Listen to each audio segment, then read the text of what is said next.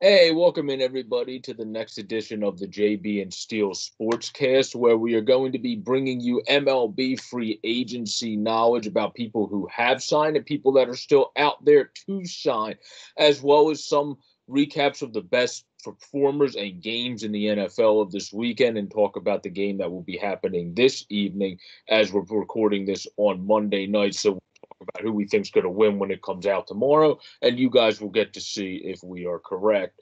Um, and then when it comes to NHL, we'll recap doing similar things the last week, who's hot, who's not type stuff, and talk about the obviously players of the week and so on and so forth.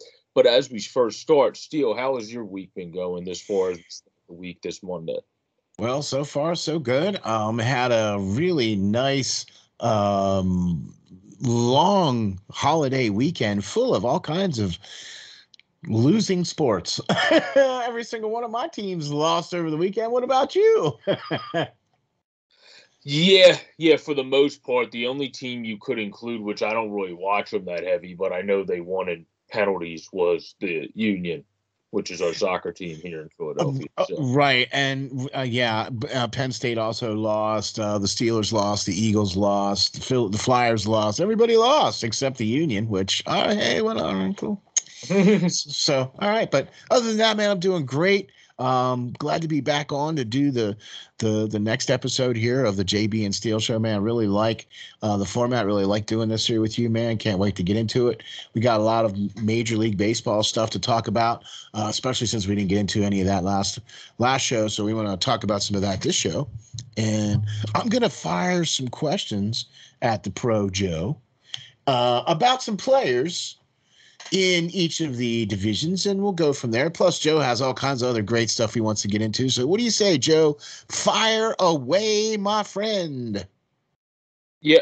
Um, well, when it comes to recency news, I saw they were doing a emergency podcast on the John Boy Network on it because people just literally recently signed when it comes to Corey Seager and when it comes to Robbie Ray, last year's AL Cy Young Award winner, the Mariners have been looking for an anchor at the top of the rotation for basically since Felix Hernandez was at King Felix level.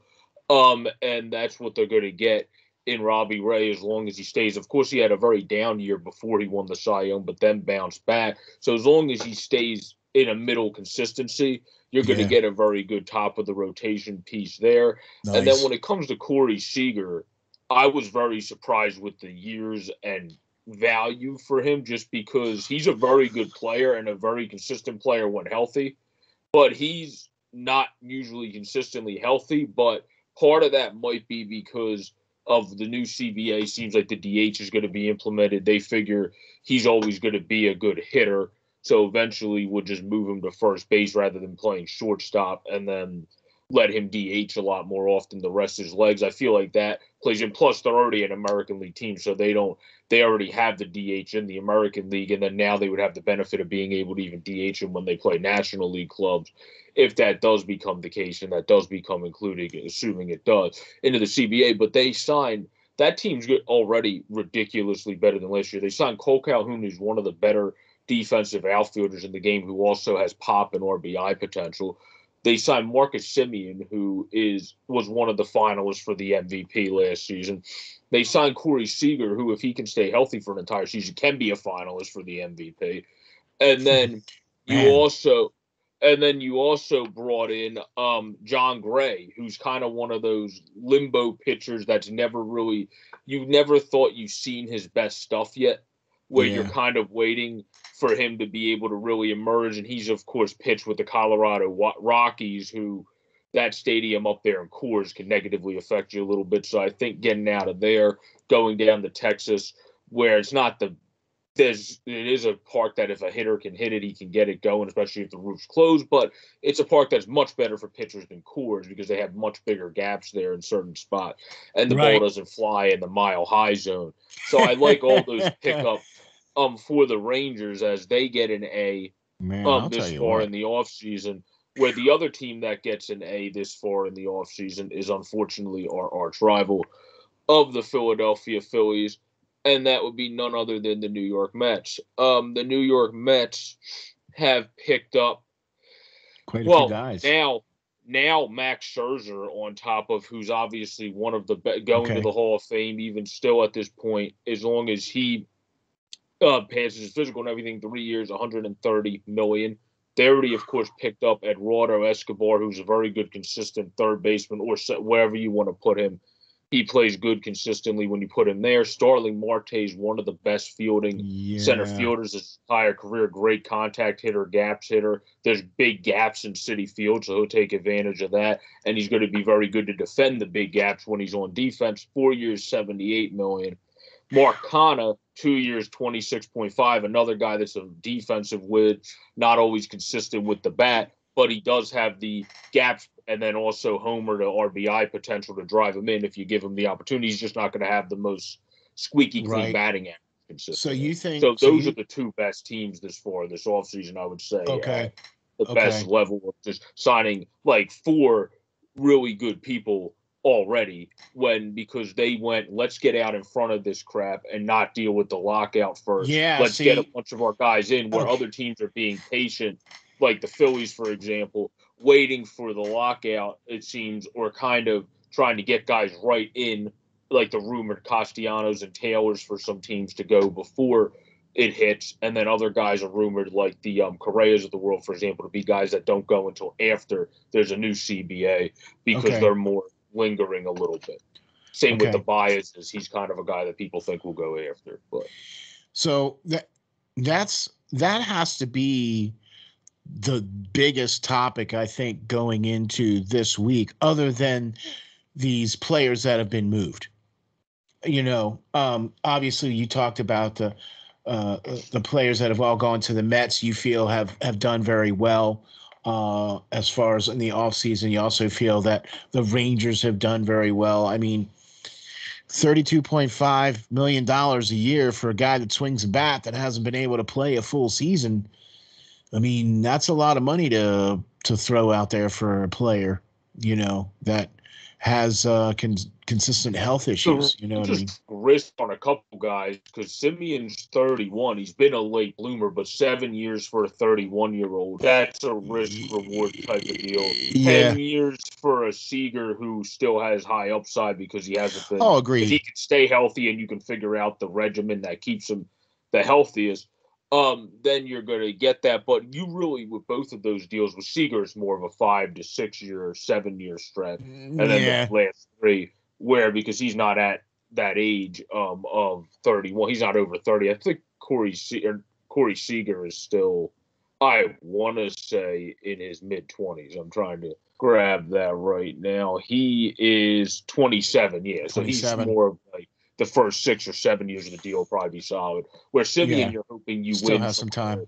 Yeah. in that first four to five years, and then you don't really care because if you win a World Series as the Texas Rangers, um, in that time frame of the first five years of Seager's tenure and the first four years of Semien's seven and all that, and especially if you win it, because I think Calhoun was just two years within those next two years, then you know you're not going to really care at that point. You're bringing in these guys to get the Rangers a World Series in that new stadium to keep bringing people in Right. down there in Texas and keep growing the fan base there with the new Yeah. nice stadium they have, Yeah. top of building this great roster they have. So So now let me ask you a question now before we get into I think is the the big story.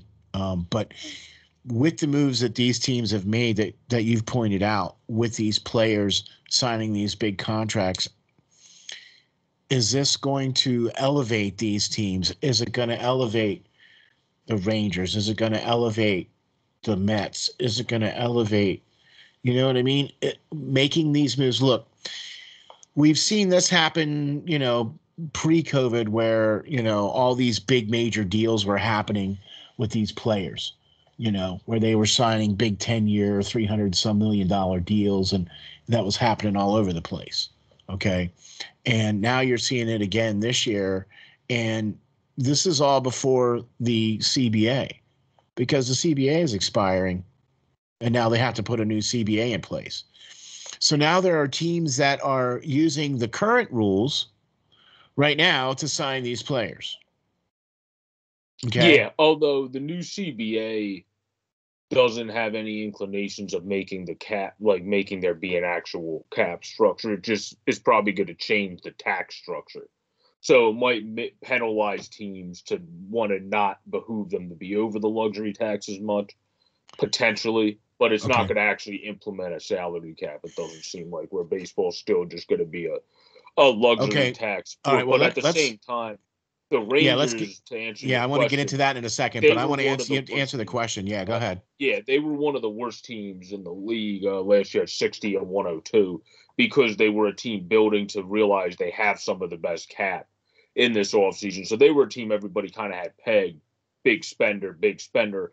They just didn't think they would go as much as they did getting the Seagans, getting the Semien, you know, grabbing a good veteran that's always been consistent in his career in Calhoun and grabbing a guy that people think – hasn't found his best stuff yet in Jon Gray. And if they can find it for him, then that would be a huge, maybe even two one guy, probably more right. of a two ceiling, and then definitely a solid three four there with the okay. Texas Rangers. So I think they're definitely going to improve. When it comes to the uh, Mets, they were already all right at 77 and 85, but they were behind the Braves, behind the Phillies, who were 82 and 80. Um, I feel like the Mets this season definitely on paper that's getting flipped to start. There's no way okay. with the way the Phillies are on paper compared to the Mets after adding Eduardo Escobar. Right. And after adding Max, especially Max Scherzer. Scherzer. after yeah. adding Scherzer, who already has dominated the Phillies with the Nationals for all that time. Uh, that's a huge ad right there. And then you also, of course, I'm bringing Starling Marte, who's been a Phillies killer in his career since his Pirates days, and is going to just be a fielding wizard that's going to keep robbing you in the outfield.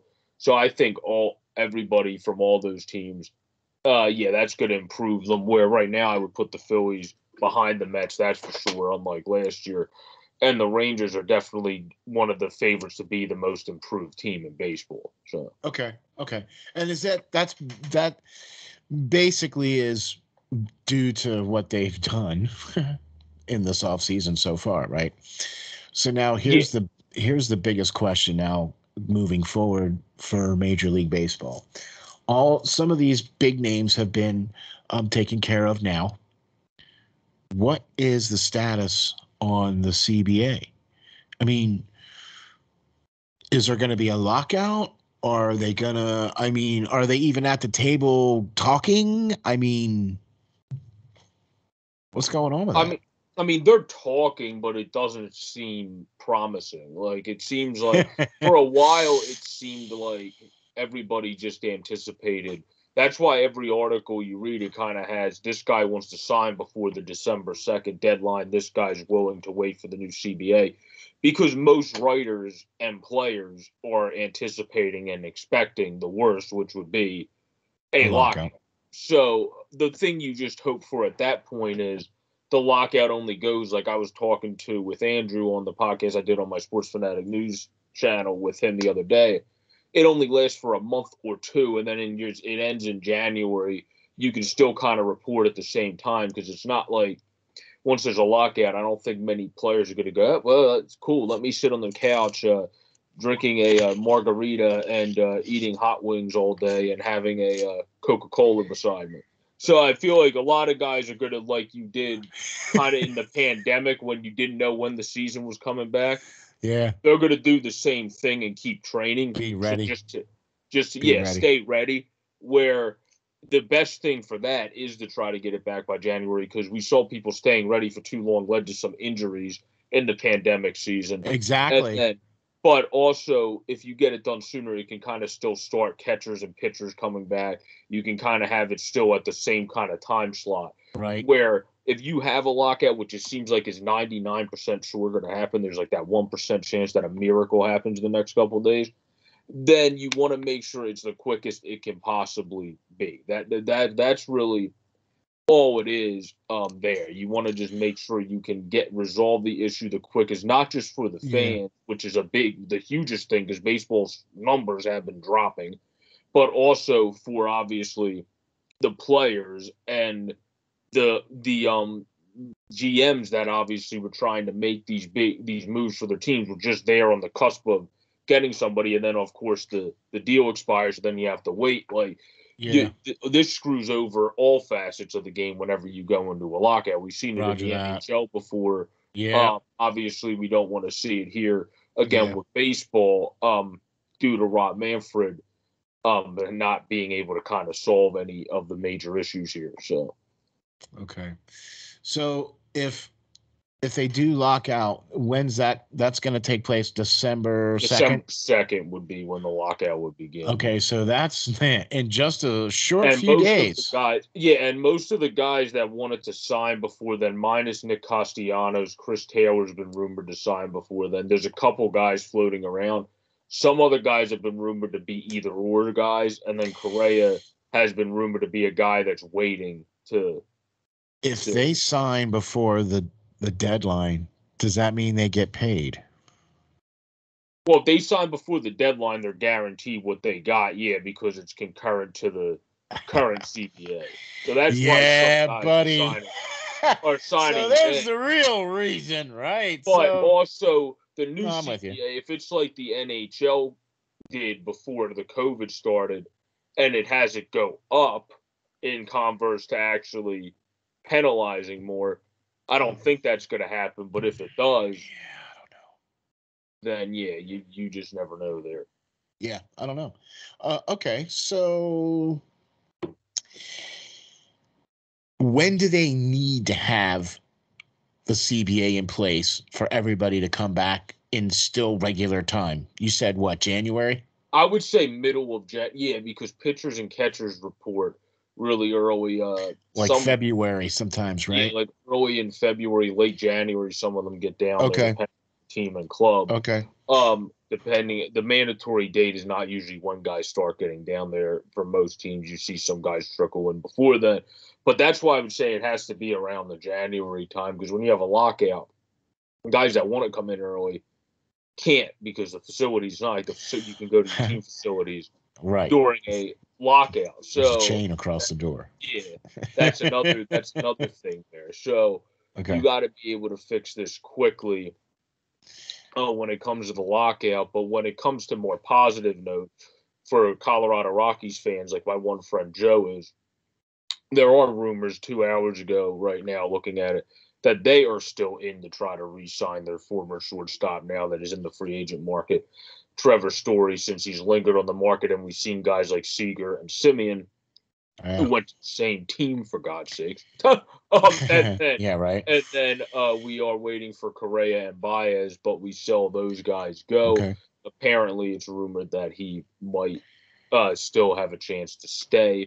Who knows how high of a chance that is, though, with the Colorado Rockies, as they're still in kind of a middle of a Okay. phase and not really close to winning again. So, Right. If they don't sign a CBA and they do lock out, I mean, what are the sticking points here to this CBA? Why would they lock out? Why why can't the players and the owners come to an agreement? You said earlier that it was uh, something to do with tax brackets and things of that nature for luxury tax and stuff like that.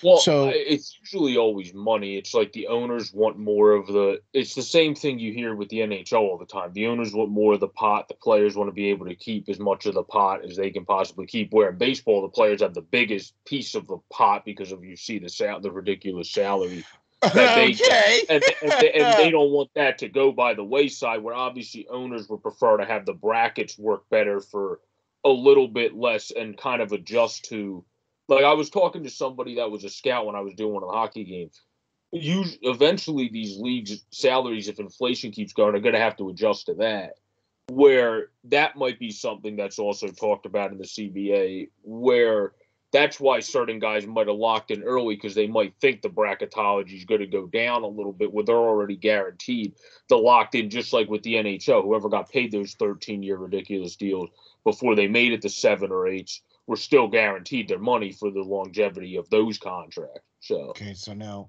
the only problem though is is that with uh the NHL, they're not guaranteed those contracts. No, They don't but- they don't sign guarantee contracts like what the the Major League Baseball guys players and the NFL guys players sign, where certain portions of their contracts are guaranteed. No, that right? no, that's true. But but my point, my point more was just pertaining to um, what's it called? The fact that um, I just feel the players and the owners are always at each other for who wants more of the pot of gold, so to speak. Yeah, and that's really what gets into it. And then on the I'm flip side, on the flip side, Tony Clark and Rob Manfred, the, the, the Players Association guy, and the commissioner have never seen eye to eye on much. So like that, it's not really a good relationship where um it's kind of becoming worse, which you would not think it would have than the NHL's relationship with their player association, where baseball yeah. has furthered the tide and become worse than that. Okay. All right. Well, I'm with you on that, man. I, well, I, what we um, I would say though, when we um move into just wrapping up on some of the baseball topics, since uh, we're at a good marker to hit the last three to five minutes of baseball, there was a trade in the last 58 minutes as Jacob Stallings, the uh, wizard behind the plate fielding, got traded to the uh, Miami Marlins for uh, right-hander Zach Thompson, who's a solid pitching prospect, and then another yeah. pitching prospect Kyle Nicolas, and then Connor Scott, who's an outfield prospect I liked from watching on MILB baseball for them. So three solid prospects going back to the Pirates for Jacob Stallings, who's a very good fielding catcher to add into the Marlins, who also added in a very nice fielding and hitting outfielder, especially in Avisail Garcia, who is a very good power hitter and a guy that can drive in runs for them down there as well. So I would nice. give them a pretty good grade on their offseason, but they haven't made as many moves, so they're like a B, B plus. They're not right. an A, but they're definitely doing pretty good on their off season as well. Okay. Well, cool, man. Um, look, we'll we'll ha- we'll try to keep you guys updated here with what's going on with the CBA as we find out. We'll try to let you all know. I mean, we're hoping that everything goes well, but we're not really. It's not looking yeah. hopeful no, I don't think so for that. So let's just wrap up on good news for people as we uh, go over some of the bigger signings in the last couple minutes of doing the baseball, which is Gausman, who is a guy that was on your list. I know when we reviewed it before, went five years, 110 to the Blue Jays. So the okay. Blue Jays um, take advantage of a guy that's really emerged since two years ago in San Francisco, looked really solid. Last year was one of the Cy Young contenders. I believe he finished sixth. Um, yeah. So he was a guy that was really solid in the Cy Young race the entire season. And then also the Marlins, in terms of getting that, this is why I actually now would have to put them at a B plus at least because they did re-sign Sandy Alcantara, who's an absolute dog on the mound.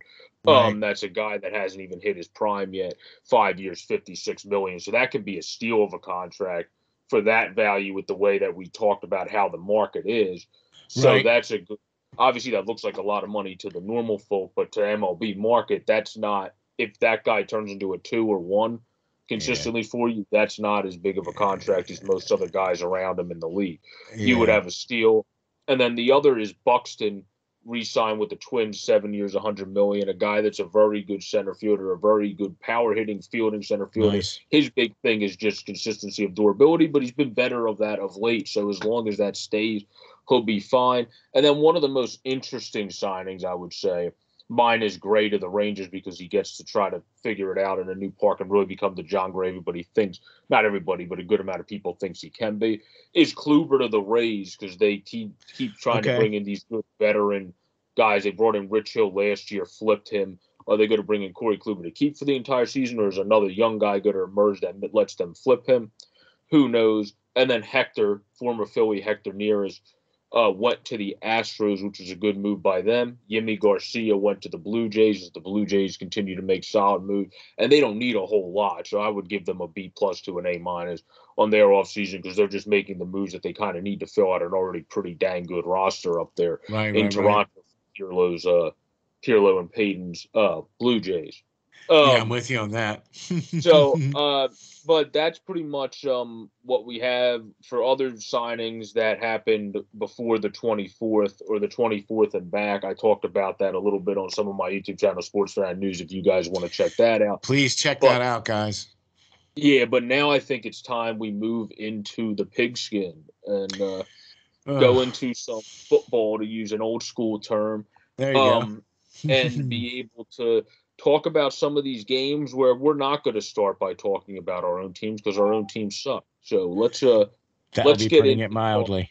let's get talking into um, Elijah Mitchell and just how good coming back, um, making his return goes absolutely ballistic. 133 yards, 27 rushes, 4.9 average, with his longest being 15 uh, yards and one touchdown. Um, against the Minnesota Vikings en route to helping the 49ers win 34 to 26. He's become their featured back now, and he's a rookie that looks like he's really Yeah. starting to emerge as a very solid running back.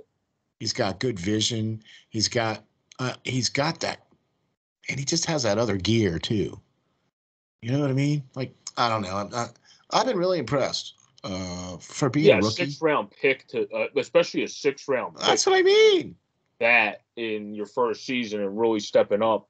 Like the Vikings ain't what the Vikings defense once was, but they're still in order to be a rookie that was a six round pick to do that against them even at where they're at now, that's still really impressive. Exactly. Exactly. And and I'll tell you something else that I think was quite impressive as well too. And and that's going to be uh the the Cincinnati Bengals have basically emerged as one of the top I mean one of the fighting for the top for the AFC, you know. The way they handled the Steelers and the way they ran the ball was quite impressive. Um, Mixon had 20 some carries for over 130 yards. Okay. And, and two touchdowns and uh, some nice long runs too. Okay. So have been really impressed with him. And I I'll tell you who I haven't been impressed with. And that's Cam Newton. Yeah, he had an off. We, talked about him actually looking pretty solid last week, and then this week And he had then, yeah. and What happened? But but I mean, it ha- he's coming. Obviously, I don't think we expected him to cruise through the rest of the season. That would have been naive. He's not the same Cam he once was. But I you're know. trying to work him back in. Um, I know. and he had a very bad week after having a good week. So it's all about how uh, he'll bounce back with the Panthers for next week when they play the.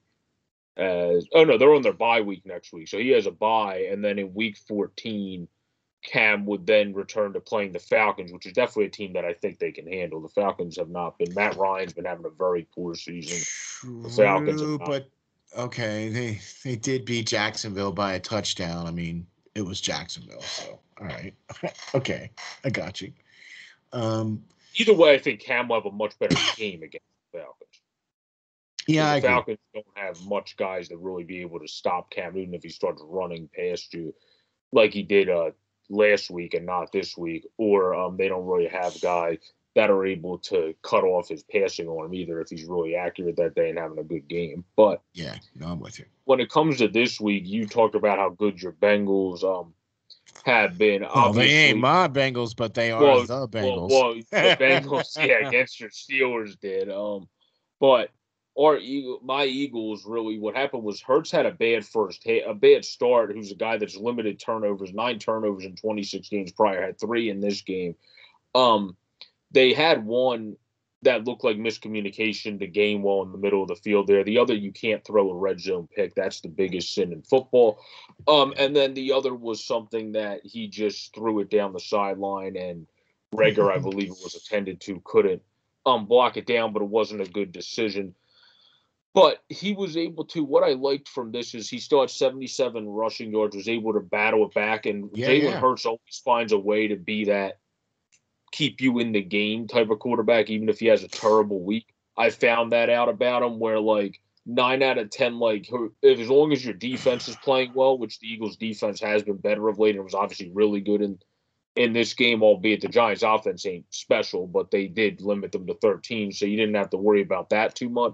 Yeah. He did start running more in the second half. He was a lot better in the second half. Boston Scott took over in the second half, where both Sanders and he had 64 yards, but Scott was in a lot more, getting more touches, and Sanders was on the sidelines. So Yeah. uh, I think there was some stuff to build on in this week, and also you could have won if Jalen Reagor didn't drop a pass in the end of the game, which was Hurts' best throw. So the Eagles didn't have a good week this week, but there's stuff when it comes to the running game still, especially to build on. When it comes to the passing game, you have to be significantly better against much against opponents going forward because not as many opponents are going to score 13 points like the Giants. They'll get better, but when it comes to the running game, you just got to keep doing your thing, but you got to be much more consistent in the passing game. And you definitely can't have three turnovers with a team. If you're a team like the Eagles, you're never going to be able to recover from three turnovers, even though they almost did this week. They got lucky with how dormant the uh, Giants' offense is. Yeah, I'm with you on that for sure. Um, Giants there, but I don't even want to. I can't even talk about the Steelers because there's nothing to talk about. They had very little yards. They had very little. They, what they, you know, what they had a lot of giveaways. Right when you when you lose a turnover battle against a team that, look, this team, the Cincinnati Bengals did exactly what the Browns did, and they did exactly what the Green Bay Packers did. Aaron Rodgers was under center, and they hiked the ball and handed it off to the running back. And guess what? The running back just did all the work and won the game. Okay, and that's just how Yeah. that is. That's also what the Bucks did. In- I mean, in- you in- know, in, in what? Indianapolis, Leonard Fournette had his best game of his career to have four touchdowns to fuel the Bucks' second rally to be able to beat the Colts in not a very good weathered game, uh, weather game up there. Indianapolis, where Carson Wentz actually did solid himself, but Brady didn't even have to beat the Colts in this game. It was the running game that beat the Colts in this game, and you always talk about nine out of ten, of course. Brady's going to usually be the guy that beats you with the Bucks. He didn't even need to do much this week. Leonard I Fournette mean, you know, was the MVP of the game, took off and had four touchdowns, and was the primary reason and really the main reason, obviously, that they won that football game. So right, right, right. No, I, I can't argue with you on that. Uh, uh, so and then when you see teams game- like that, when you see teams like that produce like that, okay. yeah, I mean, yeah, that's I that's hard to deny that. I think our last game to point out before we go to Monday Night Football would be a guy that people thought because they had Aaron Jones, they wasted a draft pick on in the second round in 2020 was AJ Dillon of the Packers. Look what he's doing now for the Packers as a big boy that can run through the tackle box. Yeah. he's mixing in perfectly with uh, Yeah. Jones up there. Had uh, Yeah. 20 rushes for 69 yards, 3.5 average, eight eight for the longest. Really has been playing well this season. Really coming into his own with Aaron Jones in the backfield, and those guys mix really well when Jones is healthy. So he's able to do his thing. Davante Adams, as always, continues to do his thing at 105 yards. Randall Cobb had a great week of 95 yards for four catches. Mhm. That's kind of a flashback to the old Randall Cobb there. Yeah, So a very good job by the Packers to be able to just sneak one out against the Rams, 36 to 28, because of a good game by Dylan Cobb. Obviously, also Aaron Rodgers in there, and Mhm. also obviously Davante Adams. So that was a nice overall win for them to be able to scratch and claw and fight that one out. I'm with you on that too, man. There was a lot of really um, tight ball games and some really just not tight ball games this week. you know, I mean, like seriously, the Minnesota San Francisco game, 26 to 34, that's a pretty tight ball game. Cleveland, Baltimore, that was a pretty tight ball game. It went down to the end. You know what I mean? Denver and Chargers, that one, no. You know what I mean? Uh, the Pittsburgh Cincinnati game, no. Uh, the the New England Tennessee game, no. Uh, Miami Carolina game, no. Um, but but the New Jersey, uh, the New York Jets and the Houston Texans, eh, sorta, right? Tampa Bay, Indianapolis, that was a good game. That was a really really good game. I thought Indianapolis was going to win that game. I really did. Tampa Bay pulled it out there in the end. You know what I mean? Um, so, but we got a game happening tonight, don't we, buddy? Yeah, and that's the thing we'll just do quickly, since obviously when this comes out, it'll be when the game's happening, but we'll just make our predictions where we have the 3 7 0 Hawks going up against the four and six Washington football team. As obviously the Seahawks do have Russell Wilson back to lead them, as the Redskins ha- or not the Redskins, Washington football team have Taylor Heinicke, who has been a good energizer quarterback leader. He's fun to watch. He's not going to be a starter consistently going forward, obviously, but he's a guy that came from the Alliance of American Football, played in a playoff game, played well enough, impressed his coaches well enough to give him a shot to be a plug-in guy until you draft somebody. Right. And he's kind of fun to watch. I'm not gonna lie, because he's a guy when you see him, like I agree, he amps up your team so much because they're complete like he'll like wait for the guy to come back and complete pass, but like yeah, just you. for like just for like six plays in for getting a first down, like on the first drive, and like like that's like a quarterback. If you see a guy that pumped up for you making a big catch for him, that's a guy you always want to try to go up for it for and be able to play for. Where yes, he has 15 to 9 interceptions. You want a better ratio there, obviously. But two three ninety for a guy that's a guy that can also move a little bit back there and get you some rushing yards. He has 276 this year that's pretty solid and a guy that I think could make a career as a backup and maybe one of those journeyman plugger guys that just continues to kind of plug into a roster that's waiting for somebody else to be drafted, waiting for their kind of next best quarterback type. Yeah, yeah, I'm with you. A uh, couple things I want to point out here about this game. Uh, the Washington football team has the eighth ranked defense um, against yeah. the 31st ranked offense. That's uh, yeah, look, I understand Russell Wilson is back, but he's only completing 35.1% of his third down passes. And that's the lowest of any passer going right now. Okay. Now I, I know he's only played in a limited number of games because he missed um, a number of games with the, the the hand surgery, the thumb surgery, or the the thumb injury, or whatever. But that's just not the Russell Wilson that we're used to seeing. Okay. And I, quite frankly, I just don't think Seattle has the team around him this year. You know, and and I think the Washington team now they're they've won two in a row where they've scored more than 27 points in the last two games out out of their bye. Okay. So can they keep it going? They have a much better ranked defense. Okay. They have a better ranked rushing uh, attack. Uh, passing, eh. offense, eh. but it's it's going to be one of those yeah.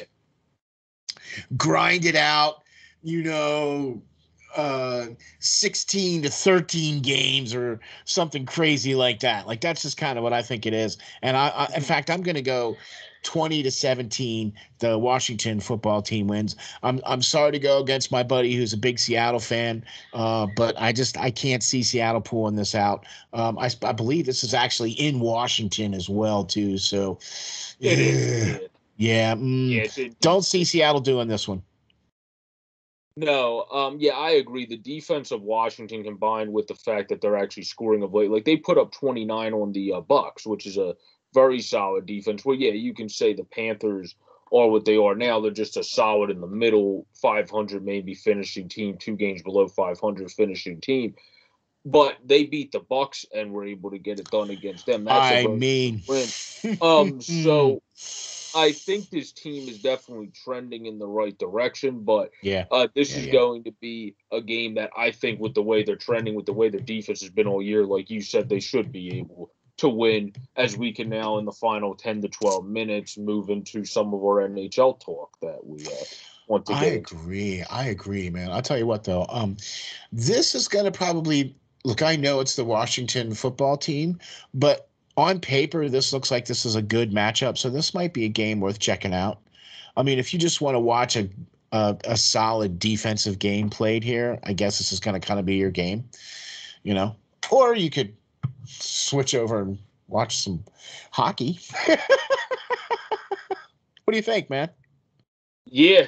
No, yeah. yeah, that's um that's true where when it comes to uh hockey of late, the team that just keeps killing it. They have 12 wins um, in a calendar month, which is the best in their franchise history. That doesn't happen for this team, really, is the Toronto Maple Leafs uh, that we talked about last week. And they still then proceeded to do even better and went 9 and 1 in their last 10 uh, on a four game winning streak. as their next game is not going to be the easy one. This is going to be the real test, which is not tonight. I believe it's tomorrow when the Toronto Maple Leafs play. Um, it's either tomorrow or Wednesday. I'm trying to find. It's Wednesday. Wednesday, Wednesday. they play the Colorado Avalanche, yes, who's the next opponent, who's mm-hmm. another hot team. So how is that opponent? How are they going to do there? But they've already got past some good opponents in this stretch they've been in as well. So right. the Maple Leafs, yeah, obviously you need to see it in the postseason, but for right now, we're just talking about oh. the regular season. They're really getting it done, and they're doing better in every statistic superior to last season. Much better early on. They're one of the hottest team, if not the hottest team, obviously early on this season.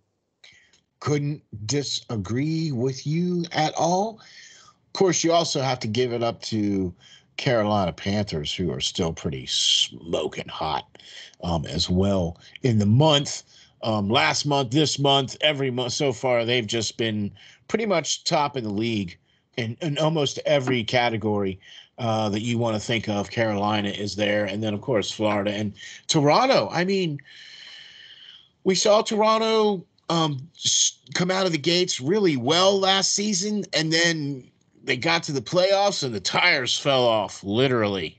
oh yeah, okay. yeah. Like like I yeah I hear the playoff talk on like the Reddits and all that, and like whenever I watch people like the hockey guy talked about that, but all you can talk about right now is what they're doing now. Once the playoffs right. come, they have to show up for the postseason. They probably want to be able to rest a little bit their goaltender more and figure out that there whether Hall emerges as a backup because of Mrazek being a inconsistent health wise guy, solid talent when he's on the ice as a backup, but not healthy enough to be consistently one.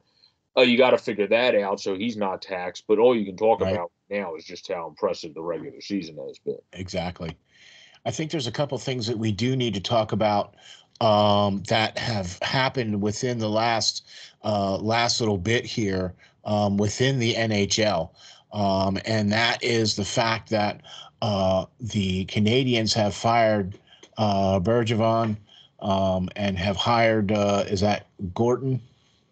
Jeff Gorton, yeah, the guy that was a surprising fire to many when he got fired by the New York Rangers. Oh, oh, okay. He was That's the guy. guy oh, oh, yeah, yeah. All right, all right, all right. Okay. I mean, I didn't think he was doing that bad with the Rangers to begin with. He wasn't. That's why when he got fired, you got people on Sportsnet going, "Huh?" The the the so now he's going to be the, coach of the Canadiens. Good prospects with. uh Well, yeah. no, he's going to be the uh, assistant. I think it's the assistant VP or something like that of hockey oh, okay. operations. Is what uh Gorton is. Um, where he's basically for now because they want a guy that's one of those French Canadian GMs, so they can speak the both languages and talk to the English fans and talk to the fans that speak French. So he's kind of filling in that role to just have that and do the um, overseeing operations, the bigger role he has, while also doing the GM role until they find one. But right. he's a great guy to bring in because you saw him draft well, and you saw oh, him yeah. build one of the better prospect systems in the game right now in the in the Rangers prospect system. So that was a very smart guy to bring in. But just to think Bergevin would be going this quickly after that insane run when he was I on know. the final year of his contract. Uh, like this is how bad it had to be. Like it's literally like it had to be this bad. You're minus 29 in goal differential. You're doing putrid defensively. You're not defending your goaltending at, at all. You look out of position a lot on defense, nine out of 10. This is really how bad it had to be for a guy that had that unpredicted of a run in last season to be able to get fired. And and at this point, he sure. kind of did deserve it because it was that bad. They yeah. didn't they didn't show up this year, and then I think obviously soon, um, unless if um, Gorton or whoever comes in new um to the GM role wants him, you're probably going to see the coach. I would think be would be the next. Uh, Right. move there to to move on from uh, Ducharme there, unless if you yeah. think Dominic Ducharme is the right guy be with just the wrong it, basically play like players at his helm right now due to the fact that Price isn't in yet and um, he doesn't have True. the same depth that some past Canadiens have had. Yeah. But. Mm, yeah. No, I'm with you. I'm with you. But um the fact that that has happened already um, is I think is a big story as well too. Um, two, should we go? Uh, look, I know we're we both bleed black and orange, and we're trying to avoid the inevitable because, anyway. So let's talk about the cross-state rivals and what they've done in the last little bit here. So, how about Malkin starting to skate yeah, he's going to be uh, contactless uh, with the team, so that's a very uh, good sign for obviously Pittsburgh and their fans. As their team is six four in the last ten, and they're now yeah. In the second wild card spot, even points wise with Columbus, but Columbus yep. has a breaker right now. Yeah, they do. Uh, so they're in the first wild card spot. The next opponent for Pittsburgh is Calgary. The next for Columbus is Nashville. Um, but yeah, I mean that's going to be a great sign for them since they have Crosby coming off of COVID, still working his way back. Um, Kapanen's a guy that I think they still want to get a little yes. bit out of, and I expect them to get more out of because I've always liked him as a player and was not happy when he went to the. Uh, I agree um, with you 100. percent uh, I'm but, with you on that one, Pro Joe, but, because um, yeah, his he uh, very impressive. He would be a really good fit in black and orange. Oh, sorry, did I say that out loud? Yeah, no. Um, and then yeah, I agree with that. And then you also have teams when it comes to the Devils have um kind of after having a solid start been more in like the middle, just like the Flyers, where they of course took advantage of our Flyers, but have been more in that limbo. The Bruins, like I said, are kind of where like I expect them to be fighting for it to the end more this year, where they're not the normal Boston Bruins that are Agreed. just right there in the first wild card or right there in one of the especially in the top three which is where they're usually positioned there i don't think this is the same team but this is a team that can get there with the youngsters like Frederic, others on their team that you know i agree. oh no i agree. Yeah yeah yeah. But it's guys that they just need to show it um first with this year as this is a completely different roster and one that until they do re-sign them, they don't have to go risk. So unless if they do actually re-sign them at a certain point, they have Swayman, who I really like, and Ullmark, who did his thing in Buffalo, was one of the few guys like Jake McCabe who actually performed well in that dumpster fire of a situation. So um, I'm with you. I'm with you. That yeah. So I mean true, that he did that kind well. of is how that how that was, but I, I feel like in terms of overall league, though, one guy I do like just because I've always liked him as in, in his entire career that obviously was a former, I want to say seventh overall pick with the Arizona Coyotes, um, is uh, Keller, who actually has 13 points, five goals, eight assists in 21 games this year with the Coyotes, and is starting to show what he was when he came in, which everybody said he was one of those really smart players that could think with the speed that he's able to move with and kind of yeah. make decisions on the fly. And um, that's what he was able to do early on in his career in his 65 point season at only the age of 19. And then he had a 47 point season, which they paid at 20. Then he's kind of been a little bit lesser since. He, if if he keeps going at this pace or picks it up a little bit more, it seems like he's starting to kind of return to form. And what people don't realize is he came up so young. The dude's not even at his prime age yet. He's only yeah. years old. Yeah, yeah. I mean, good grade. Yeah.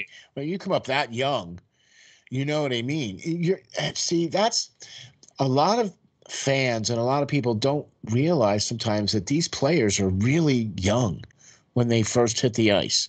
You know what I'm saying? They don't realize that they're 18, 19, 20 year olds. You know what I'm saying? And and they need that little bit of time to mature and and grow into things. You know, look, just because you're starting out there playing hockey doesn't necessarily mean you know everything about that position. That just means you're better than the guy behind you. You know? So exactly. Right, you know, so yeah, you might be 18 years old, but you're the best guy out there. So guess what? You're learning on the fly. you know, you have to get experience and learn the game and learn that experience on the fly by being out there because you're talented enough to be out there ahead of everybody else behind you. Yeah. Yeah, and especially for a player like Keller, who if you're a guy, I feel like some other players that have the needs to develop skating tag teams do them dirty when they bring them up quick. Agreed. don't let them like that's why uh, I've I've always thought that way with Dylan Strome, who of course is on the Blackhawks now. Um, yeah. but when it comes to guys like him that are always that you talk about their speed, stays up with their mind speed that they can make the quick passes as quick as they're actually skating and accelerating. Those guys Exactly. don't mind bringing up right away because they don't have to work on their skating. They just need to work on their hands, being at the NHL level rather than being at great junior level, basically. Exactly. Stuff. Exactly. So, Perfect But- analogy. Perfect yeah, analogy. but a you know? guy this year that needs to just become the Rangers captain, for God's sake. I mean, the dude has 18 points. What do you think he's trying to tell you here? Is uh is Okay, but see, no, wait, hold on, hold on, time out, time out, time out. Hold on. Look, uh, I am, I am all about electing a captain who is a leader. I would not want just because you're the guy who scores the most goals doesn't well, necessarily that's not make really you the that's captain. not really why I would want Chris Kreider as my captain. He's always been the heart and soul of the. I'm with you. I'm with you. I just wanted to make sure that we have that differentiation.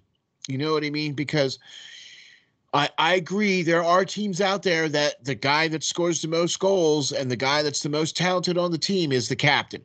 Mhm. Okay. I, I, I right. Okay. I, I get it.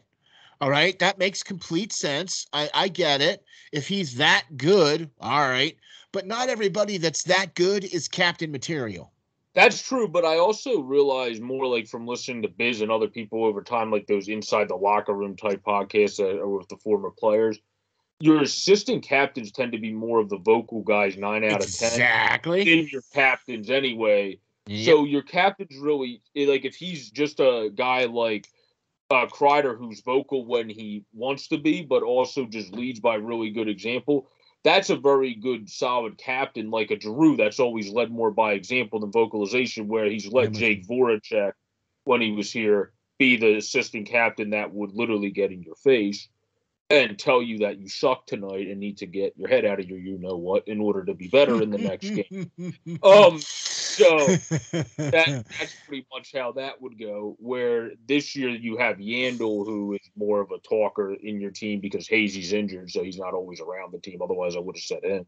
Yeah. But Yeah. um, that's kind of what it is. But yeah, I agree with that. He should be the captain though more because he's always been the heart. I said it before on our show, the heart and soul of that Rangers team. That's why I thought he was a guy as you were rebuilding and kind of building it back up. You shouldn't have got rid of because some guys you have to Uh, keep in yeah. are just kind of the fan favorite foundation pieces of your team.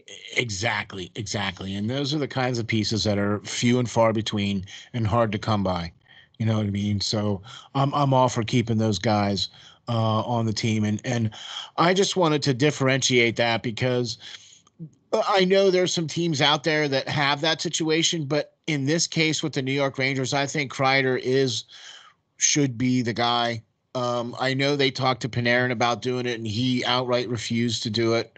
Uh, you know what I mean? Um, he said he didn't want that I don't think responsibility. Panarin's the captain. Yeah, yeah. I feel like Panarin's more of. I'm trying to think of the guy that's on the tip of my tongue right now, where he took a Desjardins. He took the captaincy, and then decided this ain't really for me. Let's give it to somebody else. And he was a heck of a player, a fan favorite himself, a guy that everybody loved. But the Yeah. captaincy's just not for everybody. Agreed. Agreed. And and not everybody who is necessarily the best player on the team can be the captain. You know, sometimes, no, sometimes it's- it's not the best player on the team. Right. Jason Smith was not the best player on any no, team. by any So- stretch of the word. Yeah, yeah. I'm with you. You know, I'm with you. Derian Hatcher was not the best player on the ice. You know? Okay, come on. He was a guy that was back then, especially a great captain, because back then you could still get away with a lot more physical, just Right. beat the crap out of your stuff, and that's the type of Right. defense. was, Oh yeah. man, I dude, watching him play from Dallas, holy moly, that dude was a. All right, he- okay, now I understand why we got Chris Pronger. Oh. right? Yeah, right. You know. All right. Anyway, so But how about off too? As we wrap up this video um, towards the end here, how about Getzlaf uh, in, as a veteran player having 19 assists, tied for fifth in the league um, this year? He only has the one goal, but he's not really paid to score goals, especially at this point of his Uh-huh. career. He to score goals earlier in his career, along with his great assist totals. But he's always been that assist wizard, 722 in his career to 280 goals and he's really having a stellar season, about to turn uh, 36 to 37 um, eventually. So I mean, that's a huge feat for him to be able to have 20 points in 22 games. I'm Yeah, with you, that- man, on that for sure. I, I'm also really, really gonna talk about Troy Terry. Man, did he not just have a stretch of games there? Right? What was it? 16, 17 games? Or 18, I'm yeah, sorry. something That I can't remember the team total, but yeah, he was on a ridiculous streak. And uh, I remember he, hold on, I have it here where He's got 21 games played, 13 goals, 10, 10 assists for 23 points already. I'm gonna do videos on the old guys because I have magazines from like the old prospect things. I'm gonna do videos on comparing to where Oh, okay. All right. Turk I mean, ranked in the draft. It was like I can't find him right now, but he was ranked like insanely low compared to like where you would. Uh, um, so check this out, right? Fifth round, fifth round draft pick, 27th, 148th overall is where he was picked in 2015. Right? Yeah, yeah, we're talking about yeah, Terry still, yeah. Yeah, yeah, yeah. Troy Terry. Yeah, 24 years old. But all right. Yeah, he's developing. He's a yeah. When Pirlo, I think we said it was last week on the show. He's developing into a mid-round star. Like you don't normally those mid-round guys like Lance wrote in articles before. I think it's like a twenty. Like it might be once it gets past the fourth round, a teens percent chance, but Yeah, yeah, yeah, yeah. chance that you're going to even make it and then make it and be that much of an impact is a completely Exactly.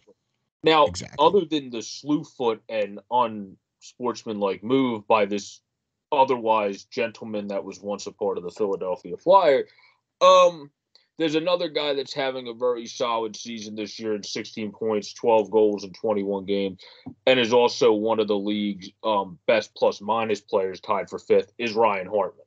Hartman Oh yeah. wild is absolutely going ballistic, and minus that one really undisciplined play. Um, he One undisciplined play. um, well, he has more, but he's not. Look, he's he didn't. He's never done what Brendan Lemieux's done. I'm we with didn't get into that in this episode where Brendan Lemieux bit Brady Tkachuk. Tkachuk had the right to say everything he said about Brendan Lemieux afterward.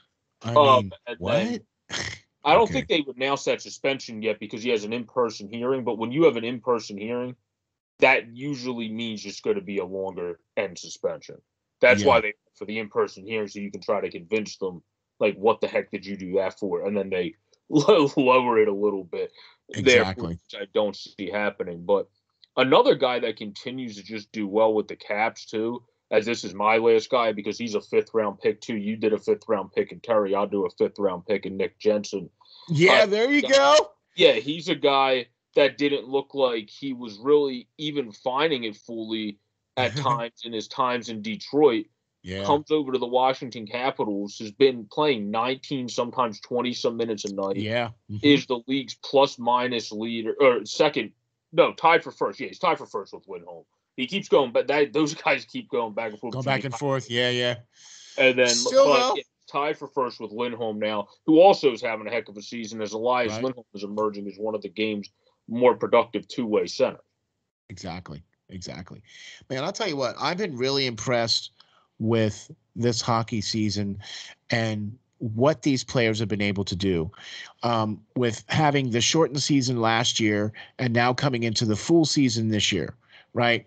We also didn't even mention the fact that the New York Islanders suspended what, two games? Right? Yes, because of yeah the COVID. pro- COVID. They had eight players on the protocol list. But now I'm scratching my head here a little bit because Ottawa had to have 10 before they were. Well, I think they should have done both of those teams quicker because you had both teams fielding Belleville. I and- agree. Well, Ottawa was fielding Belleville's team a lot, and then you had I Bridgeport agree. pulled up for the I agree. But why did they? Should never have changed it. This is an off-topic thing, but should never have changed their AHL logo, which was one of the better AHL logos. Then they decided to call themselves the Bridgeport Islanders. That was a mistake. But that's that's Right. That's that's that's here and there. But why? Why did they allow Ottawa to go to 10 and then they only allowed New York to go to 8? I agree with you that they should have called them sooner. I'm wondering if that's prospect depth, like the league. I don't think I can't see the league paying I saw- to that. I saw But- that there were 10 players on the Ottawa Senators, 10 of the players on the roster that were on the COVID list. And they had to bring up other guys from, you know, the AHL and, and everywhere else. Whereas the Islanders only have eight players on the list. Okay. So uh, I'm not trying to play t- tick for tack here, but if you're going to call it for one, then you got to see this. This is kind of like the, the the the whole thing here for the NHL. It's it goes with the refs. It goes with everything else. They call it one way for one team, but they don't call it another way for another team. Is what I'm getting at.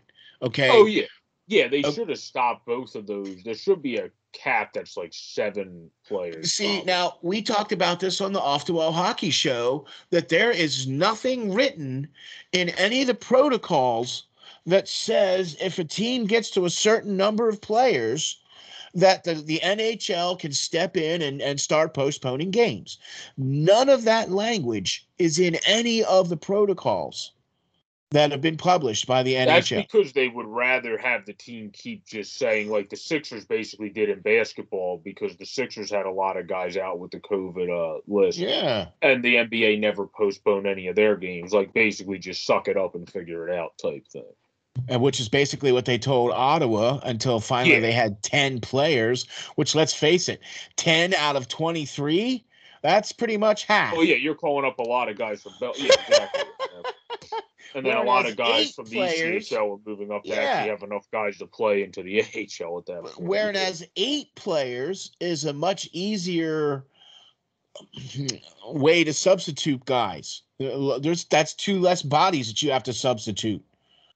You know what I mean? Oh, so yeah. I mean, uh, I don't know why the NHL waited long. I think it's literally just uh whatever they notice how bad that team is, whether it's 8, 10, 11, 9, I seven. Mean, I don't know. They're going to go, oh, we should probably do something about this now.